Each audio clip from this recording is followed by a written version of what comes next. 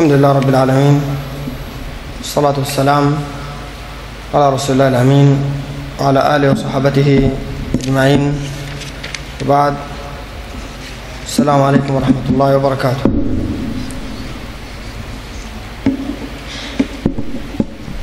هذه الورقة العلمية إن شاء الله تعالى في هذه الدورة تكون بعنوان جواب الشبهات المثارة حول شيخ الإسلام ابن تيمية رحمه الله تعالى. وشيخ الإسلام معروف عند الجميع أنه إمام من أئمة المسلمين عاش في القرن الثامن أو القرن السابع ولد في سنة 661 وتوفي 728 في قلعة دمشق. لما كان مسجونا في مسألة الزيارة لما أفتى فتوى تتعلق بأن شد الرحال يجب أن يكون للمسجد النبوي أو المسجد الحرام. أو الأقصى. هذه المساجد التي تشد إليها الرحال. وإذا شد الإنسان رحله إلى مسجد النبي صلى الله عليه وسلم يكون قصده المسجد. وتكون زيارة النبي صلى الله عليه وسلم والسلام عليه في قبره تبعا لذلك. لكن لا يشد الإنسان الرحل إلى القبر. فسجن رحمه الله تعالى بسبب ذلك وبأسباب أخرى سجنا طويلا مات في قلعة دمشق رحمه الله تعالى.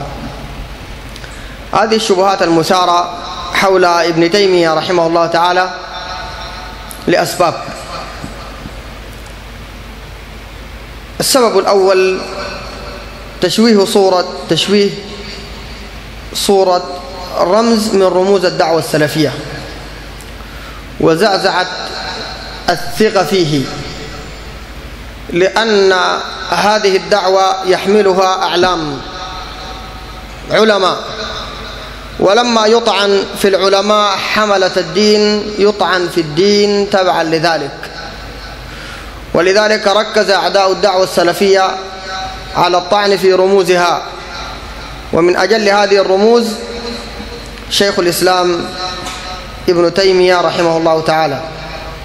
ثانيا أهل البدع يطعنون في ابن تيمية بسبب إرادتهم للترويج لباطلهم بنسبته لشيخ الإسلام ابن تيمية. مثال لما أراد هذا الصوفي أن يروج لعقيدتهم في الشطح أو في دعاء غير الله نسب هذا لابن تيمية. وزعم أن ابن تيمية موافق لهم في هذه العقيدة. عشان يروج لهذا الباطل ينسب لابن تيمية أو لأحد علماء المسلمين. إذن الهدف الثاني الترويج للباطل بتاعهم الهدف الثالث الاعتذار لشيوخهم ولعلمائهم الذين وقعوا في باطل ومنكر عظيم. الاعتذار لهم بنسبة الخطأ لأئمة السلفية. يعني نظام إنه إنتم انتقدتوا على شيوخنا أشياء وباطل وقعوا فيه نحن كذلك بنتكلم في شيوخكم. إذا شيوخنا على باطل شيوخكم أنتم برضو على باطل. فبهذا المبدأ يريد أن, أن يتعادل الأمر. يعني يبقى شيوخهم على باطل وكمان أنتم برضو شيوخكم على باطل. ولهذا يطعنون في شيخ الإسلام وفي غيره وبعض الناس يستخدم قاعدة قريبة من دي. حتى ممن ينتسب للدعوة الحقة السلفية يستخدم قاعدة قريبة من هذه القاعدة وهي أن يعتذر لشيخه في المنكر الذي تعمده وأصر عليه بعدما نوصح وروجع. يعتذر له بخطأ وقع من أعلام معروفة كأئمة الدنيا. ومعلوم يا أخواننا ما من إمام من أئمة المسلمين إلا وله خطأ من الأخطاء. ولم يسلم من الخطأ أحد إلا الأنبياء. والعصمة في تبليغ الشرع وفي كمال النهايات للنبي صلى الله عليه وسلم. الشيخ الإسلام ابن تيمية يقول والأنبياء لا يقرون على هذا على قول من قال يقعون في بعض الصغائر. قال والأنبياء لا يقرون على ذلك. إنما يوفقون للتوبة والعبرة بكمال النهايات لا بنقص البدايات. وعموما الأنبياء معصومون فيما يبلغونه عن الله تبارك وتعالى. وعلى هذا كثير من الناس اليوم تجد شان يعتذر لشيخ من الشيوخ يقول لك طيب إذا طعنت في شيخنا الفلاني بأنه فعل كذا وكذا طيب خلاص اطعن في الإمام فلان قال كذا والإمام فلان قال كذا والعالم الفلاني قال كذا. نقول هذه القاعدة قاعدة باطلة. ما تعتذر لنفسك في خطأ إنه فلان أخطأ زيي. ده زي ما يقال عندنا بالعامية كده زول يقول سارق يقول لي تسرق ليه؟ والسرقة حرام. ويسوقوا يودوا البوليس يقول لهم طيب جاري ذاك ما بيسرق برضه. وذاك سرق والبلد كلها سرقة. يا أخي إذا كان في سرقة والبلد كلها سرقة أنت ما تسرق. وهذه القاعدة يستخدمها الآن الحزبيون عشان يعتذروا بها لأصحاب المنكر وأصحاب الباطل. وهنا نقل لشيخ الإسلام ابن تيمية أستمع له بتركيز. يقول شيخ الإسلام رحمه الله تعالى كما في الفتاوى المجلد السادس الصفحة 61 يقول إذا رأيت المقالة المخطئة قد صدرت من إمام قديم فاغتفرت لعدم بلوغ الحجة له فلا يغتفر لمن بلغته الحجة ما اغتفر للأول. الكلام ده واضح يا إخواننا؟ طيب تاني ركزوا معي الكلام ده مهم جدا. يقول إذا رأيت المقالة المخطئة قد صدرت من إمام قديم فاغتفرت لعدم بلوغ الحجة له فلا يغتفر لمن بلغته الحجة ما اغتفر للأول. معنى الكلام ده شنو؟ الآن لما تلقى عالم من علماء المسلمين وقع في زلة من الزلات. والعلماء اغتفروا له مش اغتفروا له من باب إنه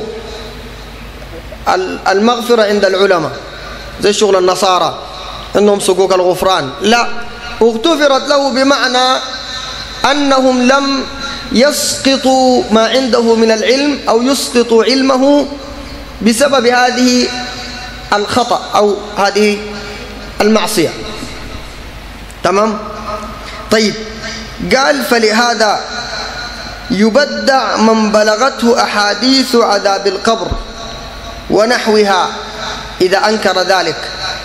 ولا تبدع عائشة ونحو ونحوها ممن لم يعرف بأن الموتى يسمعون في قبورهم.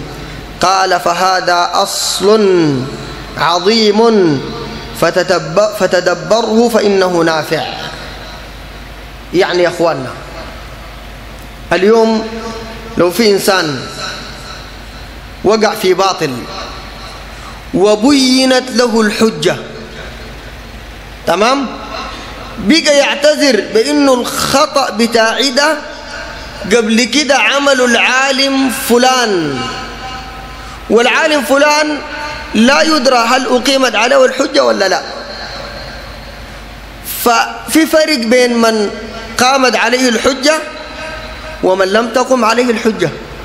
عشان كده يغتفر لمن لم تبلغه الحجة ما لا يغتفر لمن بلغته الحجة. ابن تيمية يقول وهذا أصل عظيم فتدبره فإنه نافع. عشان كده يا اخواننا ما يحل يزول الآن يجي يعتذر لصاحب منكر ارتكب المنكر وأصر عليه ورفض أن يتوب وقد بلغته الحجة. يجي يعتذر بأن هذا المنكر قد صدر من فلان أو فلان. فإذا فهم هذا يبقى كلامنا يا أخواننا إن شاء الله عن شيخ الإسلام ابن تيمية كالآتي. ما أثير حول ابن تيمية. إما أن تكون أشياء كذب عليه. أشياء هي كذب عليه. أو أن تكون أشياء يختلف فيها المخالف مع ابن تيمية. لذلك شن عليه شنوا عليه لأنهم بيختلفوا معه في المسائل دي. وبيظهروا للناس إن هي منكرات وهي ما منكرات. تمام؟ أو أشياء أخرى زيد فيها. هو الكلام يكون حقيقي. لكن زادوا فيه زيادة معينة فصار الكلام قبيحا ومردودا. طيب أول ما أقف عنده من الشبهات اللي قال هذا الدجال المدعو محمد المنتصر واللي غالب كلامنا في الدورة دي عنه والسبب ركزنا عليه مش مزاج مننا بنختار زول نتكلم فيه. هذا لانتشار منكره في السودان في هذه الآونة الأخيرة. فتحت له كثير من وسائل الإعلام وروج لهذا الرجل باعتباره داعية إلى الإسلام وهو والله الذي لا إله غيره. هذا داعية إلى دين المشركين. بل ما يدعو إليه هذا الرجل أسوأ من عقيدة أبي لهب وأبي جهل وأمية بن خلف وغيرهم من المشركين. والله أسوأ منه. مفتوح له إذاعات وقنوات ويعمل محاضرات في المساجد. ولخطورة هذا الرجل لأن خطورته تكمن في أن هذا الرجل فتح له الإعلام وهو صاحب شبهات. وهذه الشبهات تحتاج إلى سلاح من العلم عشان ترد على الشبهات. لأنه ما أي إنسان ما عنده علم يقدر يتصدى لرجل مثل هذا. عشان كده يا إخواننا دايركم في الدورة دي الناس تركز شديد وتحرص. حتى لو أنت جعت والقعدة طالت ما مشكلة. أصبر. لأنه أنت يوم من الأيام قد تفقد أخوانك الدعاة. عارفين الرد على الزول ده والكتب دي. وانت يوم من الأيام حتواجه الزول ده وحتمثل الإسلام وعقيدة المسلمين. انت حتعمل شنو؟ انت ما تتخيل إنه الأمور حتمشي كده طوالي. يوم من الأيام حتبقى انت الممثل لعقيدة المسلمين. وحيجي الزول ده وحيفتك بالعقيدة الإسلامية ويفتك بالسنة أمام عينك وانت بالشاهد. حتعمل شنو؟ تمشي تنادي زول؟ عشان كده انت خليك محصن بالعلم عشان تكون جاهز تذب عن الإسلام وعن عقيدتك وتحمي دينك. طيب أول مسألة أقف عندها في ترجمة شيخ الإسلام ابن تيمية لأنه عندهم شبهات من ترجمة ابن تيمية. طيب ده كتاب سير أعلام النبلاء. سير أعلام النبلاء عنده طبعات.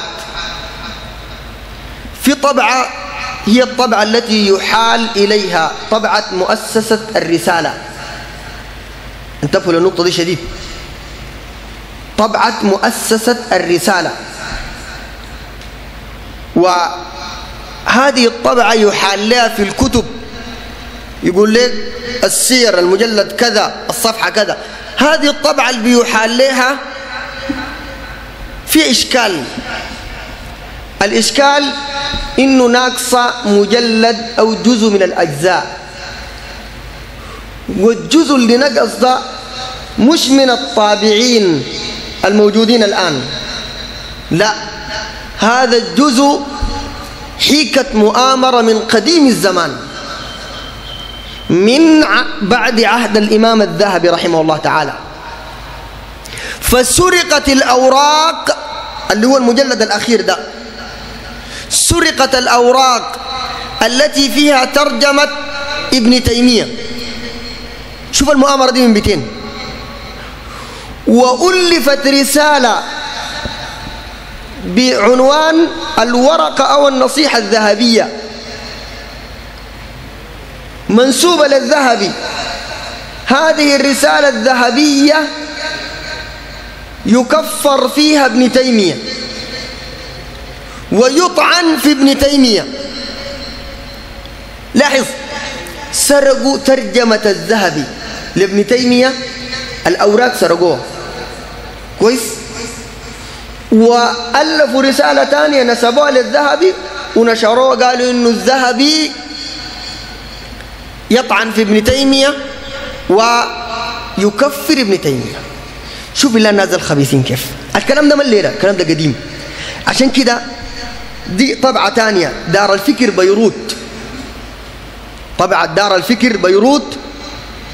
المحقق جاب المجلد الأخير هنا برقم 17 لأنه المجلدات كبيرة شوية. هناك لعله برقم 28 أو 27 الله أعلم ما أضبط الرقم بالضبط. طيب.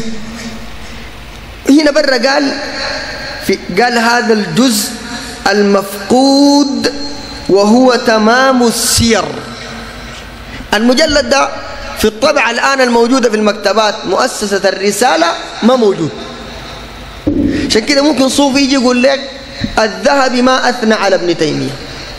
وفي سير أعلام النبلاء ما في. ويجيب لك سير أعلام النبلاء يخط لك قدامك يقول لك طلع لي الكلام ده. انت حتقعد تفتش؟ لأنه طبعة مؤسسة الرسالة ما فيها. إنما في دار الفكر بيروت. طيب. الذهبي ترجم لابن تيمية. لاحظ لكلامه هنا ولثناءه على ابن تيمية رحمه الله تعالى في هذا المجلد. آه الصفحة 503 أنا يا أخواننا أثناء قرايتي دي ما أظن تقدر تكتب أي حاجة. لكن ركز على شنو؟ إحالات الكتب. يعني الكتاب كده طبعت كده الصفحة كده. دي أكتوبة معاك في ورقتك دي ما تقعد ساي عشان تنوم. كويس؟ بعد ذاك لو جبنا شبهات أكتب الشبهة كذا والرد على كذا بس لخيصة تلخيص. يعني شبهة كذا الرد على كذا. طيب. يقول الذهبي تقي الدين أحمد بن عبد الحليم بن عبد السلام ابن عبد الله بن تيمية الحراني مولده عاشر ربيع الأول يوم الاثنين سنة 61 و600 بحران. سمع من عبد الدائم وابن أبي أبي اليسر وعدة. برع في التفسير والحديث والاختلاف والأصلين وكان يتوقد ذكاء. ما رأيت أحدا أسرع انتزاعا للآيات الدالة على المسألة التي يريدها منه. ولا أشد استحضارا لمتون الأحاديث وعزوها إلى الصحيح أو المسند أو السنن كأن ذلك نصب عينيه. شوف الثناء عليه ده كيف. ده سرقوه كله. قال ولا على طرف لسانه بعبارة رشقة حلوة وإفحام للمخالف وكان آية من آيات الله تعالى في التفسير والتوسع فيه لعله يبقى في تفسير الآية المجلس أو المجلسين. طيب. قال وأما أصول الدين ومعرفة أقوال الخوارج والروافض والمعتزلة والمبتدعة مبتدعة فكان لا يشق له فيها لا يشق فيها غباره. هذا مع ما كان عليه من الكرم الذي لم أشاهد مثله قط والشجاعة المفرطة والفراغ عن ملاذ النفس من اللباس الجميل والمأكل الطيب والراحة الدنيوية. وصنف في فنون العلم ولعل تواليفه وفتاويه في الأصول والفروع والزهد واليقين والتوكل والإخلاص وغير ذلك تبلغ ثلاثمائة مجلد.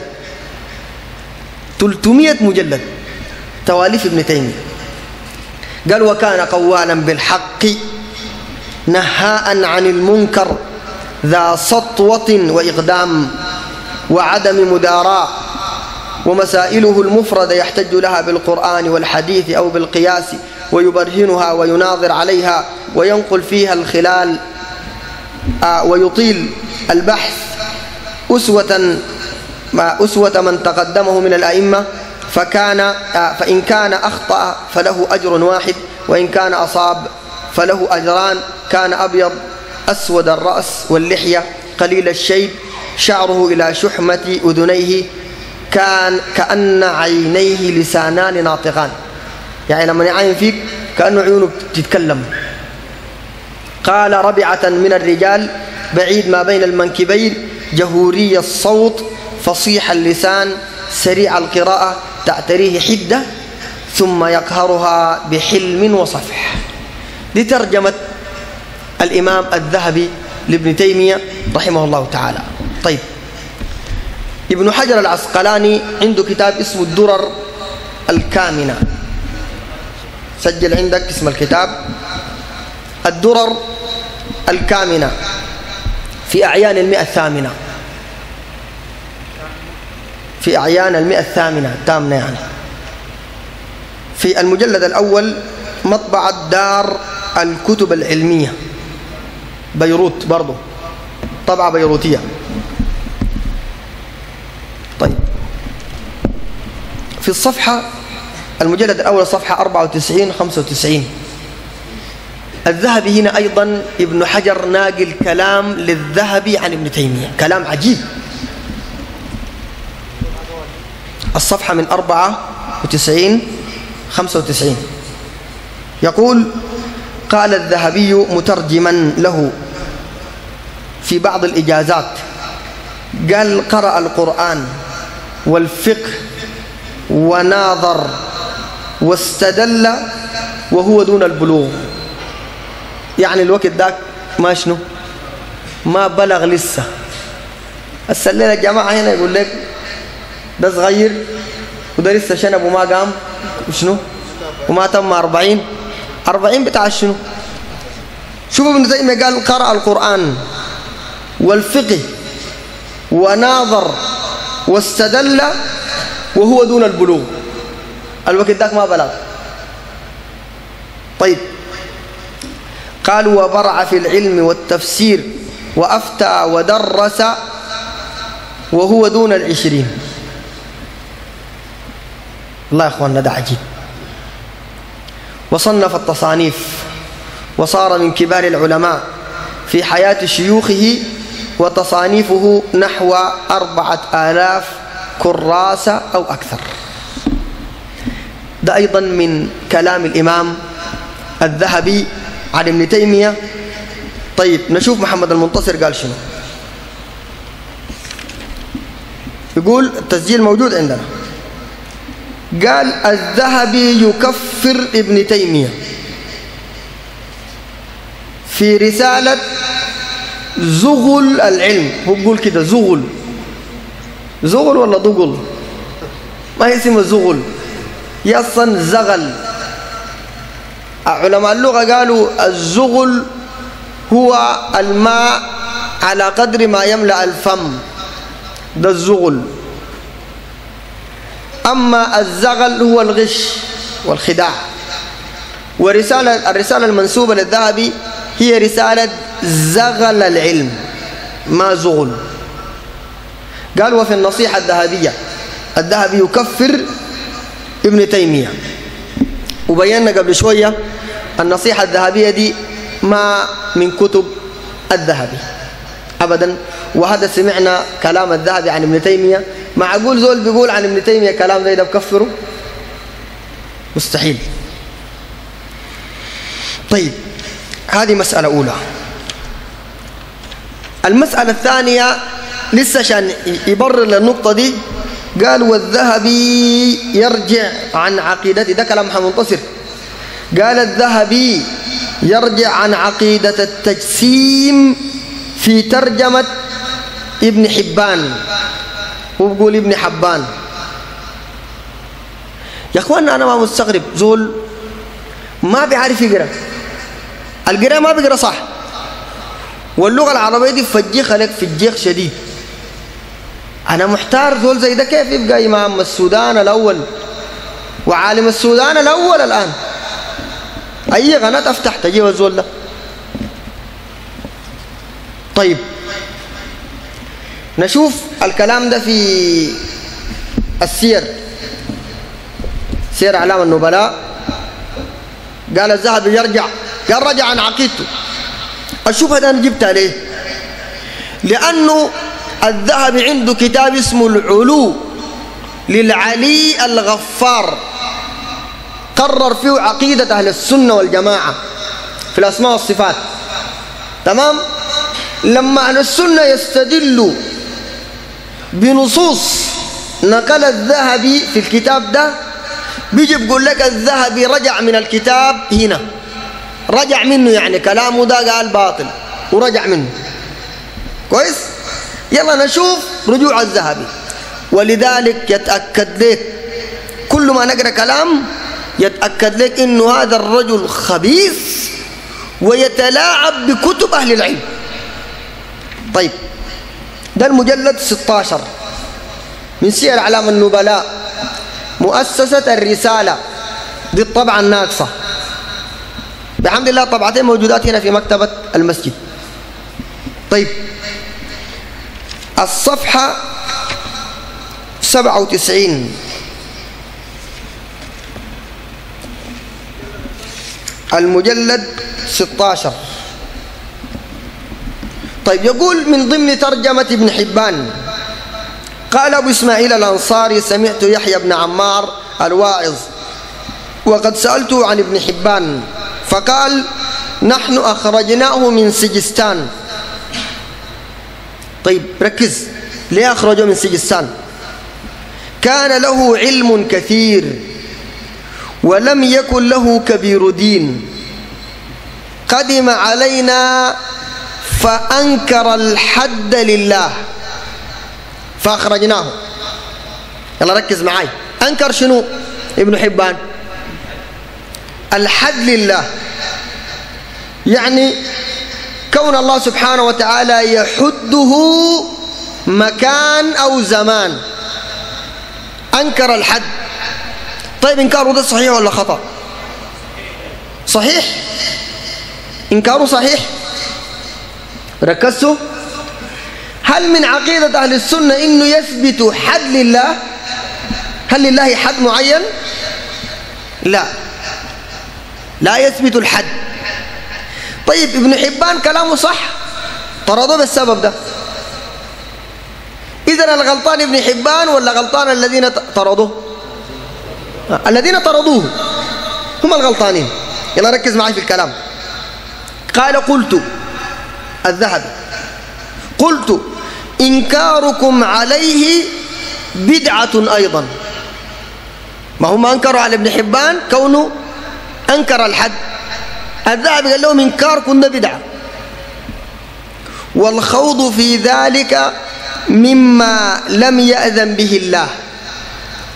ولا أتى نص بإثبات ذلك ولا بنفيه. سبحان الله. دي مش عقيدة أهل السنة والجماعة. إنه هذه من الألفاظ كلفظ الجهة. ولفظ المكان. ما ورد في الكتاب والسنة إثبات ذلك ولا نفي. طيب. قال ومن حسن إسلام المرء تركه ما لا يعنيه. وتعالى الله أن يحد أو يوصف إلا بما وصف به نفسه. دي عقيدة أهل السنة ولا ما عقيدة أهل السنة؟ إن ربنا سبحانه وتعالى لا يوصف إلا بما وصف به نفسه أو علمه رسوله أو علمه رسله بالمعنى الذي أراد بلا مثل ولا كيف. ليس كمثله شيء وهو السميع البصير. طيب وين رجوع الذهبي عن كتاب العلو للعلي الغفار. وين رجوع الذهبي عن عقيدة أهل السنة؟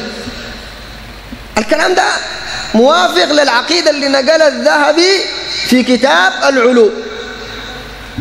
إذا الآن يوهمك محمد المنتصر إنه الذهبي ها أنكر على أهل السنة وتبرأ من العقيدة اللي تعلمها من شيخ الإسلام ابن تيمية ونقل في كتابه العلو.